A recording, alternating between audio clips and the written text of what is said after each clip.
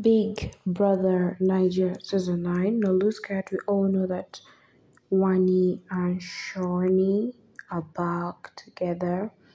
And of course, Shawnee doesn't have the hoodie. If you get to see Shawnee with a hoodie, that definitely means that something is wrong with Wanni. And you could see much love straight into the eyes as they were cooking food.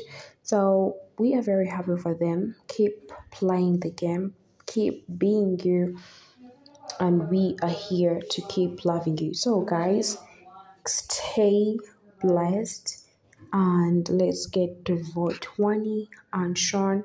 They're enjoying their moment. We all know that if they are happy, we are also happy as their fans, you know.